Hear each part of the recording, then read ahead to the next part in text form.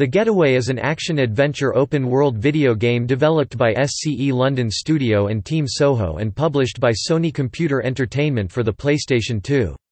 The Getaway is inspired by British gangland films Get Carter and Snatch.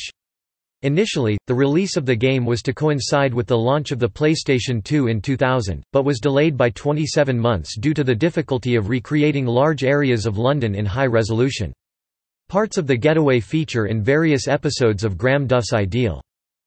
The game focuses on two characters each with their own plot settings, being an ex-bank robber, Mark Hammond and a police officer in service with the Flying Squad, Detective Constable Frank Carter with both plots running parallel and intersecting before concluding in the finale of the game. A sequel entitled The Getaway, Black Monday was released in 2004. Topic gameplay The Getaway is designed as a third-person sandbox-style game in which the player controls the two lead characters as they carry out their missions for game progression.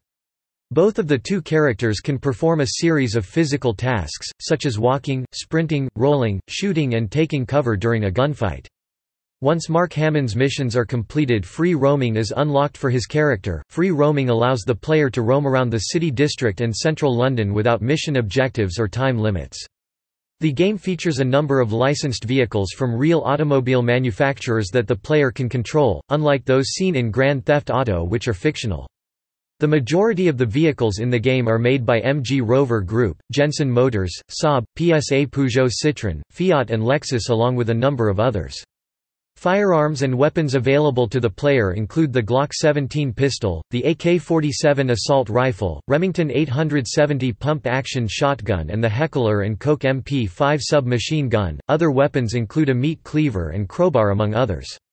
A major feature in the game was its approach to immersion and being movie-like, achieved mostly by not including the typical HUD, such as with car chases being done by signaling the player with the vehicle's indicators, rather than a large arrow above the car or the player characters limping or bleeding profusely to represent low health instead of a health bar per meter.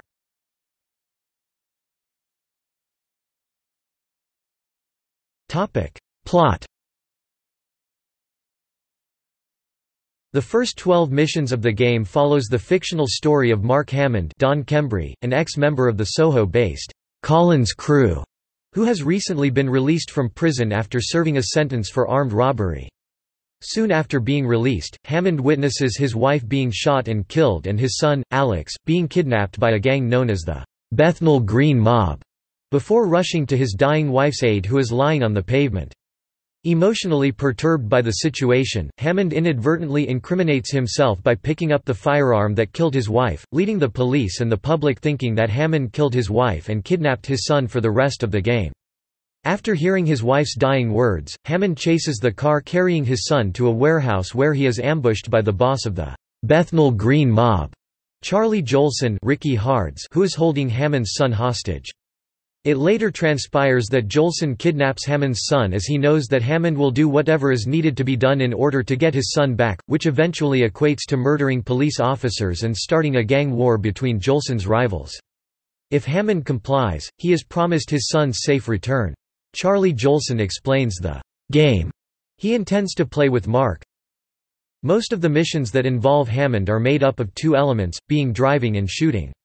The chronologically ordered missions include Hammond burning down an establishment operated by his previous criminal employers, attacking the London branch of the 14K Triad and Yardies to entice a turf war between the two factions, ambushing a prison transport convoy to release Jolson's nephew, Jake Jolson Dave Gold, and attacking Snow Hill Police Station to kill a corrupt detective chief inspector, Clive McCormick and free Yasmin Anna Edwards from police custody, an ex-gang member of Jolson's who participated in the murder of Hammond Hammond's wife and kidnapping of his son, who then decides to leave Jolson and help Hammond find his son.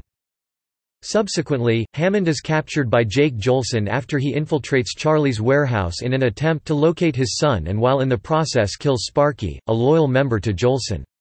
At the same time as Mark's capture, Yasmin's assassination attempt of Jolson is also inconsequential as she is captured while infiltrating Jolson's highly protected manor.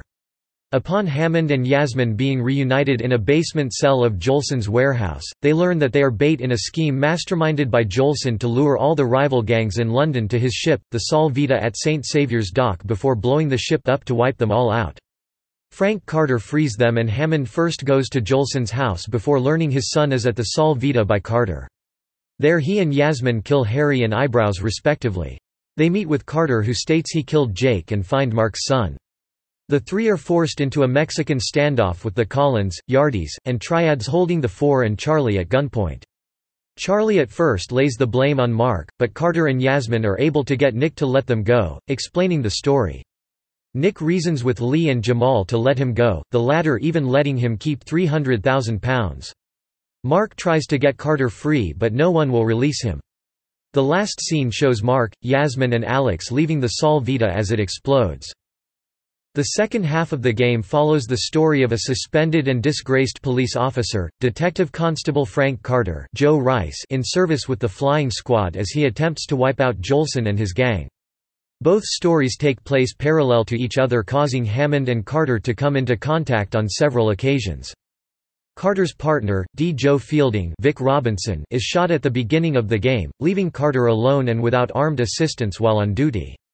Carter also reports to several disturbances that have been caused by the player as the character Mark Hammond, such as the Collins Crew establishment which Mark burned to the ground and Carter was escorting Jake Jolson before he was broken out by Hammond. Due to his Rambo ways, Carter's superior officer, DCI Clive McCormick, suspends him pending investigation. While suspended, Carter grows skeptical of McCormick's integrity and covertly follows his boss to a depot operated by Jolson's Bethnal Green mob. Using stealth tactics, Carter discovers McCormick's corrupt relationship with Charlie Jolson. Upon hearing that McCormick has ordered the assassination of his partner, Joe, Carter rushes to the hospital and averts the attempted assassination. However he cannot clear his name as McCormick was just killed by Hammond.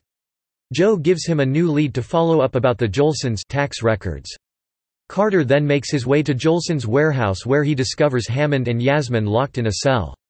Firstly, he overhears Charlie talking to Harry and Jake about blowing up the other gangs on the ship. In particularly, Charlie explains how the bomb works that if you press the detonator, the timer counts down and if you release it, the bomb instantly explodes. Therefore, Frank is aware of Charlie's true intentions.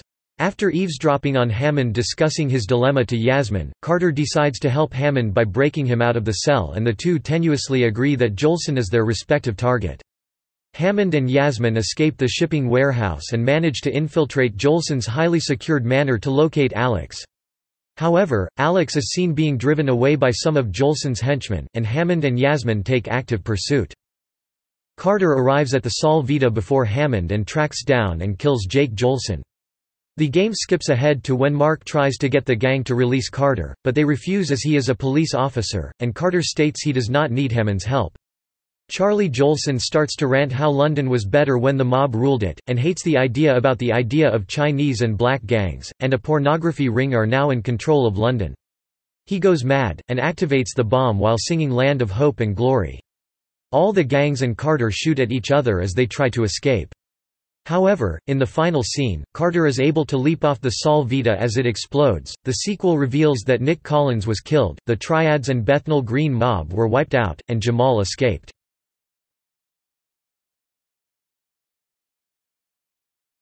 Topic: Development. The game originally began life on the 32-bit PlayStation, off the back of Porsche Challenge. After having made an acclaimed circuit driving game, Sony Computer Entertainment Europe London studio, headed by Brendan McNamara, like many other developers at the time, felt that a free roaming vehicle game was an interesting concept worth exploring. The title was prototyped and playable missions were made, but it then evolved into a PlayStation 2 project. However the original code was kept and there was talk of including it on the finished game, which would ultimately not happen. Apart from several screenshots printed in the official US PlayStation magazine, the original version would never see release. In moving over to vastly more capable hardware, the scope of the title expanded, as did its ambitions. Bizarre creations were generating a lot attention due to their successful result in reproducing the streets of central London for their Sega Dreamcast racer Metropolis Street Racer or MSR. As MSR was being hyped and primed for release as one of the Dreamcast's so-called killer games. Sony Computer Entertainment Europe felt compelled to attempt to steal Sega's thunder by promising the creation of a PlayStation 2 title which would recreate a massive 113 square kilometers, 70 square miles of London, displaying the ferocity and length at which Sony Computer Entertainment Europe was willing to attempt to challenge its veteran competitor. The final creation actually only yielded an area of 16 square kilometers, 10 square miles. However, recreating even 16 square kilometers proved a daunting task and a technical nightmare, factors which may have delayed the release of the Getaway by several years. In the case of the latter, the programmers had to perfect an engine that could constantly stream three-dimensional geometry and texture data, of the areas of London the player was currently in close proximity to. At no point was the entire city loaded into memory, as it simply wouldn't fit. Unlike Rockstar's Grand Theft Auto 3, it was not an acceptable option for the Team Soho developers to break the city up into separate regions and impose a loading time delay when crossing between areas. The hype surrounding the project began in earnest just before E3 2000, when a series of screenshots were published online. They revealed an amazing level of detail, clearly showing the very identifiable streets near Team Soho's studio. Though it has been argued that these shots were actually mock-up pre-renders, it is possible they were taken from actual code which received further detailed vehicle and character models, higher resolution textures and also anti-aliased the final output. Although the prototype game was constantly shown behind closed doors, the public was not privy to its results for at least another year. It was only finally made playable at E3 2002. By then the project had ballooned, exceeding its development budget many times over. Sony Computer Entertainment Europe however had a range of other titles in development, but the decision was taken by Phil Harrison to can many of them, perhaps to allow yet more funds to be poured into the getaway. As a result of this, the axe was to fall on two of its studios, Sony Computer Entertainment Europe Manchester and Sony Computer Entertainment Europe Leeds. But this, all eggs in one basket, gamble did pay off. When the game was launched in December 2002, it received rave reviews and was a huge seller across Europe, especially in the United Kingdom. Worldwide and particularly in the United States, the game received mixed reviews and sales. The fact that it was released around the same time as the hugely popular Grand Theft Auto, Vice City to which the game was often compared also hurt sales despite a large marketing campaign in the United States.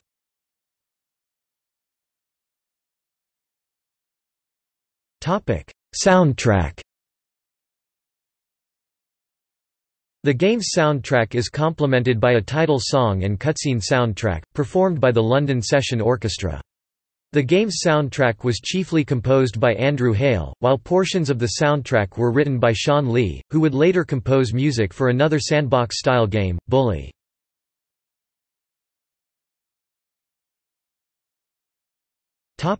Controversy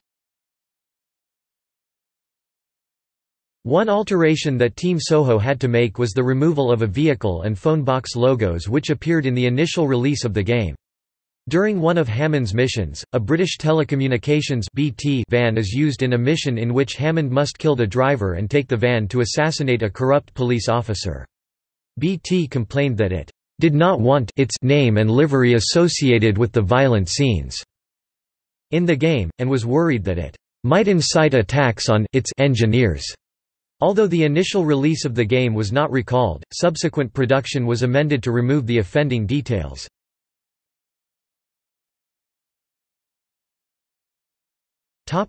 Ban in Australia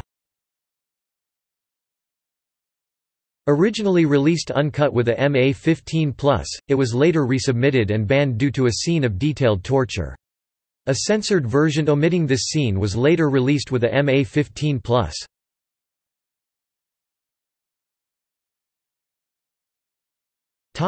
Reception The Getaway received average reviews according to video game review aggregator Metacritic. Maxim gave the game a score of 8 out of 10 and stated, if the ensuing police brutality doesn't mold you into the model wheelman, then having to endure those whiny English cop sirens surely will." FHM also gave it a score of 4 stars out of 5 and said, not just a little similar to GTA 3 in look, feel, and gameplay, it's nonetheless worth sleeping in front of the game store for this one.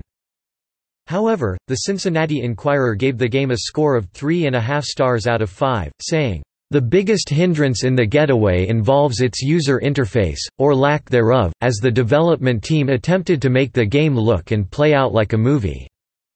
Entertainment Weekly was very negative of the game, giving it a D and stating, The level of detail is extraordinary, even the facial expressions are motion captured. But the slickest graphic presentation can't cover for Getaway's flawed script.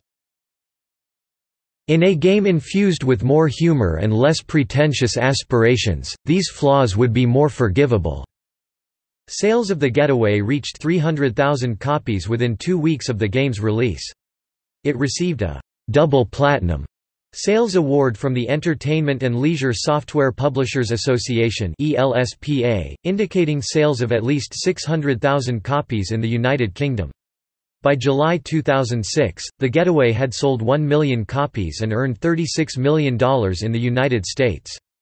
Next Generation ranked it as the 53rd highest-selling game launched for the PlayStation 2, Xbox or GameCube between January 2000 and July 2006 in that country. In a retrospective article from 2014, Den of Geek made the game number 23 in their top 50 underappreciated PlayStation 2 games list.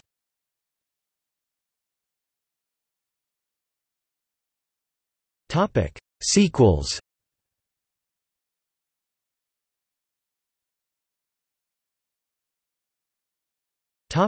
The Getaway, Black Monday. The Getaway, Black Monday is the second game in the series and was again developed for the PlayStation 2 in 2004. The game's story is based on such films as Get Carter, The Long Good Friday, Lock, Stock and Two Smoking Barrels. It is a follow-up to The Getaway.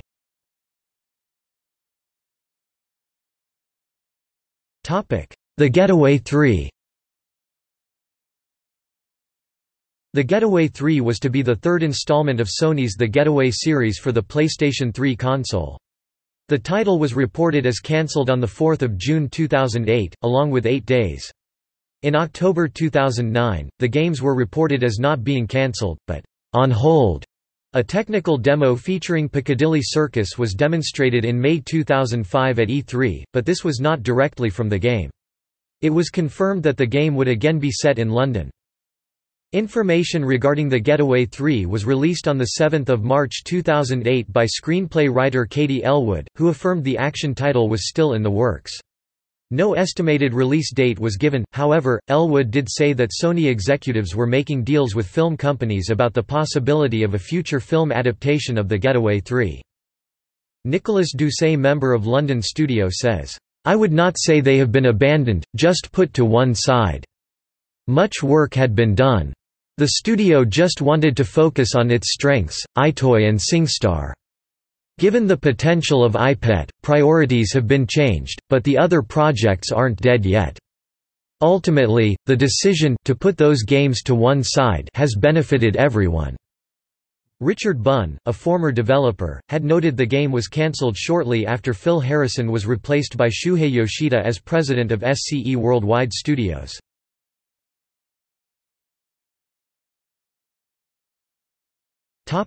See also Gangs of London, a 2006 video game with similar gameplay and theme to the Getaway series by SCE London Studio.